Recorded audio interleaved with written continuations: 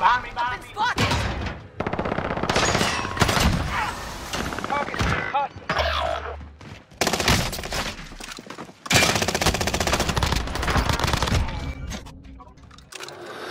Reinforcements are on the way.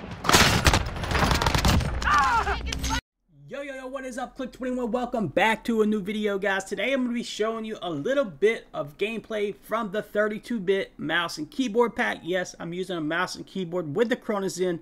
Now, this is on a PC, of course. You can still do this on console if you're a keyboard mouse user and you want to use this on your PS4 or your Xbox you can still set it up as well. I'm not very good with the keyboard and mouse. I'm just going to go ahead and throw that out there unless I'm playing Valorant or CSGO. I never play in Warzone. I'm just going to show you a little bit about the aim assist, the anti-recoil, and then what you need to do to set it up. So let's go ahead and jump right into the video.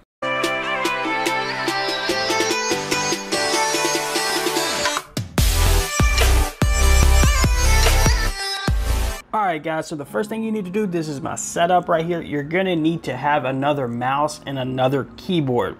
This is why I probably don't do these videos very often, just because the problem is you're always going to have to have another keyboard hooked up and another mouse hooked up. So once you've got that hooked up, then you will be able to plug in the keyboard and mouse you want to game with, this one right here, and then my mouse right here, right into the front of the Cronus and then you're good to go. Ignore my dirty mouse pad. So let's go ahead and jump into Zen Studio and then I'm gonna show you a little bit of the gameplay.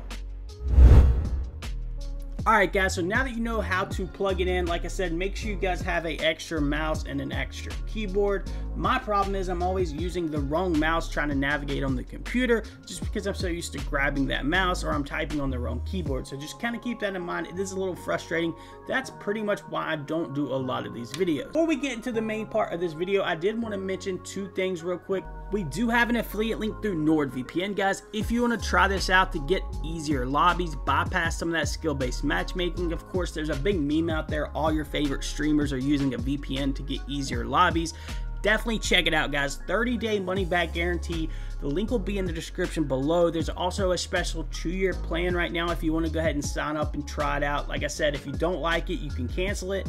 It also works on console, so check out my old video on that if you're learning how to set this up on console. And if you need help with your Cronus in general, guys, go ahead and join up on the Patreon. We've had so many people join lately. Now we've got the kill shot scripts on there, and then we've also got the brand new Demon Time scripts, which we're updating as right now. This script is absolutely nuts. All you got to do is join up. It's already in there. I'm going to be uploading a lot more tutorial videos, even Call of Duty gameplay class type videos to help you maximize your gameplay the most. You know, stuff like that if you guys are interested. Or if you just want to support me, guys, go ahead and join up on the Patreon. I have a lot of mods in there that do most of the work. I pop in there a lot as well, try to help when I can. So I can't thank you guys all enough for the support. If you need that one-on-one help, if you want access to all the kill shot or demon time scripts, make sure you guys join up on the Patreon. Other than that, let's get back into the good stuff. Alright, so once you've got your keyboard and mouse plugged into the front of your Cronus, and you've got your other keyboard and mouse that you're going to use to navigate on your computer with, or whatever other device you're using, you can go ahead and set up this Call of Duty Warzone Season 3 mouse and keyboard pack. Now you'll find that right when you scroll down, it'll say MK beside it. That means mouse and keyboard. Now, one thing you'll want to do when you set this up, I don't have more than one profile set up because I don't play on mouse and keyboard that often. I feel like Call of Duty is more of a controller game if I'm being honest. But in the future, guys, if you like this video, if you want to see more mouse and keyboard Cronus videos, make sure you hit that like button, make sure you comment below, and then we'll go ahead and do it maybe for Apex and Halo, and maybe even Fortnite and other games like that if you guys are interested. I want to know what the people want, so let me know in the comments below. Make sure you guys smash that sub button if you're not subbed already, and hit a like on this video. Setting up up this pack is pretty easy, guys. All you got to do is set up your profile hotkeys. I've only got one profile set up, so I'll go ahead and just use one for that key. Basically, what the Cronus is going to do, it's going to detect your keyboard and mouse, but the output is going to be as a controller. So you're going to get aim assist with your keyboard and mouse, and you're going to get anti-recoil, slide cancel, all that good stuff, just like you would get using your controller, but you're actually using a keyboard and mouse. So the first thing I would do is set up a profile to however you want the anti-recoil to work. Totally up to you guys. I've only set up one so far. Now, of course, scrolling on down after you get through the profiles, you set those up for whatever hotkeys you want to switch to. If you're using a certain profile on profile 2, say it be the XM4 and the Owen, and you wanted to use that profile when you get your loadout, you could just hit 2 and it would switch to that profile for the anti-recoil values that you'll put in in just a second, which I'm going to show you. Now, they do have hotkeys where you can adjust your anti-recoil and everything like that. I recommend binding that to maybe like F3, you know, for the anti-recoil, and then you could do F4 or F1 for the aim assist, which we'll get into. I'll show you what I've set it up as uh, in just a second basically the way I've got it set up guys, if I got the F1 for the aim assist adjustment, I've got the game pack menu hotkey as F2. Blocking game rumble of course is enabled, which I don't really think your keyboard is gonna vibrate. I don't really know that's in there. But anyway, let's move on.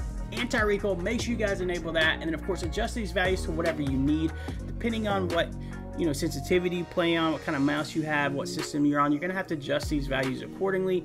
I went ahead and cranked it up just a little bit just to test it out. And then of course you've got your vertical and horizontal. Horizontal, I'd always go at least negative one. And then of course for your secondary, make it a little bit stronger because your SMGs are always gonna pull up a little bit higher.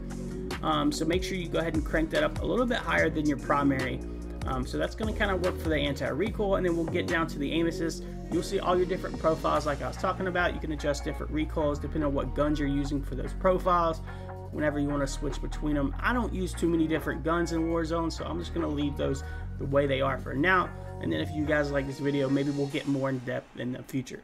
Scrolling on down, guys, it's pretty much just like your controller pack whenever you get into all the good stuff guys you want to make sure you change your extended round to whatever gun you're using so I usually go 60 round for the primary and then secondary is usually around 50 unless you're using an Owen you might want to crank it up to a 60 profile swap, just like on the controller, guys, you're going to switch that to automatic so it knows you're going between your primary and your secondary weapon. And then we're going to definitely enable assist. Now, they do have the new Taylor Assist V5 Plus boost. I'm still to use standard just for the sake of this video. We'll get into the Taylor aim assist settings and all that good stuff maybe in the future like i said if you guys like this video and you want to do more of them um, all i've really done for the aim assist is turn down the radius a little bit turn up the fire strength a couple notches, the steps up a little bit, and then the fire step up maybe one. I haven't really adjusted it too much just to test the aim assist out. This is all personal preference, of course, depending on how good you are tracking.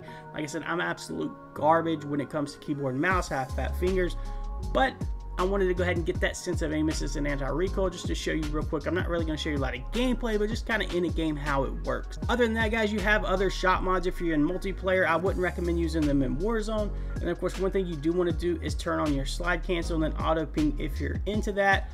Other than that, there's nothing really else I recommend actually turning on. So go ahead and hit play once that's done and it'll save. So while it's saving guys, go ahead and hit that like button, hit that sub button. Let me know if you're using mouse and keyboard. If this is your first time in the channel guys, make sure you subscribe and let me know in the comments below. Alright, so we're going to go ahead and go over to mouse and keyboard settings. One thing you will need to do is make sure that your polling rate on your mouse is at 250 hertz. Now you'll have to do that. I have a SteelSeries mouse, so you actually have to go into that software and change that, and then your DPI has to be at a minimum of 4000, okay?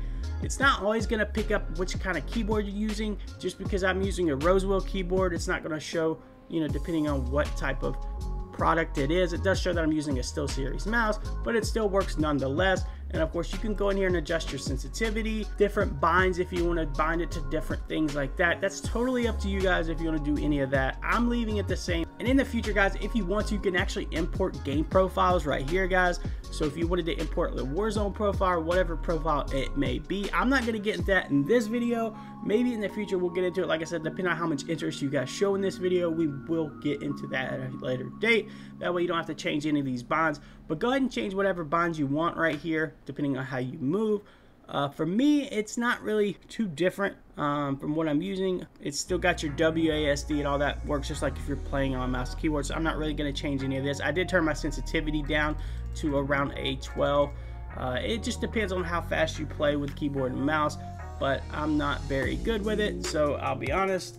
that's pretty much how you set it up, guys. Once you have all that, you can go into device input and make sure that you have everything picking up uh, as far as it'll say keyboard and mouse. And then of course you'll see that the output is Xbox 360 because I'm on PC. And the only other thing I really did is I uh, unchecked enable PS4 speciality for right now. And of course we can turn it on and off and see if it makes much of a difference. So far I haven't really seen a difference. So I'm going to go ahead and jump into a game, kind of show you how the aim assist works, how it glides to them, and then how the anti-recoil works. And then after that we're going to take off. So let's go ahead and jump into some gameplay, get into the good stuff, and then we'll see you on the next one. Alright guys, so when you first pull up the game, make sure you guys know which keybinds you have bound to which buttons because you're to have to navigate the menu with your keyboard just like you would on your controller. So it might take you a minute to remember how to actually type X. For me, it was spacebar, and then I think X or C is the back button. So remember that first of all. I've got the voice chat disabled and also the game chat just so you can hear me. I'm just going to show you real quick, guys, how the anti-recoil works. Now, of course, you'll still have to leave your input as a controller. It's going to show you using a controller when you're actually using a keyboard and mouse. So can see right here the anti-recoil is of itself. I'm going to use a different gun just to kind of show you. You know, this gun doesn't have much recoil on it, but the aim assist is still there, guys. This is what you want with keyboard and mouse, which is pretty crazy. You know, you have a huge advantage when you're using a keyboard and mouse. Let me change, uh, let's change to a gun that has a little bit more recoil and just maybe I can show you. Let's try maybe the Bren. Slide cancel, all that still works. But the, as you can see, the aim assist is just pretty nutty on keyboard and mouse. I'm not very good on keyboard and mouse, I'll be honest with you guys. So let's go and drop to game, see if we can get a couple kills, show you some recoil, and then we'll take off from this video. Talking to my teammates, and they're probably wondering where they want to land, but that's okay. Like I said, guys, I'm very bad at keyboard and mouse, so if it looks a little shaky, that's because I'm just, I don't play keyboard and mouse unless I'm playing Valorant, which is very, very rarely, or GTA, or anything like that. Let's see where these boys want to go. I always like to go prison or usually chemical. If you haven't done the phone thing, guys, where you can actually get all the remotes and all the cells and then go to the answer uh, the phone and get all the key card, guys, you can go ahead and do that. Um, let me kill this guy real quick. It's just the biggest difference for me when you're using a Cronus with keyboard and mouse is the close range fights, of course. Uh, you get a big advantage there. I'm playing with no sound right now, so I can't hear anybody if they're coming up behind me or anything. So just kind of keep that in mind as well. Uh, but for the anti-recoil, look at that. Keyboard and mouse, I'm just holding down left click, uh, and it's good to go. And like I said, the controls are still going to show a controller. Uh, so keep that in mind. You're not doing anything wrong. That's just the way it is. Let's see if we can get the aim assist uh, one more time for you guys and we'll take off. And then, like I said, let me know in the comments below if you want to see more of these uh, videos. Uh, but right now I just wanted to do a basic video and then kind of go from there. It's still super, super sticky, guys. I know there's a lot of streamers out there that may be using this as far as uh, when it comes to keyboard and mouse. I know a lot of people say that uh, there's some streamers that may use it just because their anti-recoil is crazy on mouse where you have to pull down. But I don't think it's the case necessarily. Some people have good anti-recoil, but don't get me wrong, I still feel some streamers are using uh, Cronus with keyboard and mouse to get that aim assist. And like I said, I'll show you the anti-recoil one more time. It's actually pulling down, so I might have to turn the value down. Oh my god, yeah, it's just totally different than playing keyboard and mouse by itself, guys. But that pretty much does it for this video. Like I said, uh, it's not bad playing keyboard and mouse for the first time in forever. Uh, let me know in the comments below what you guys think. If you want to see more keyboard and mouse gameplay. I'm playing with no audio right now, actually, guys, so uh, it's not too bad if you ask me. Alright, well, I died. So there you have it, guys. Let me know in the comments below what you think. We'll see you on the next video. Peace and love. We're out. Deuces.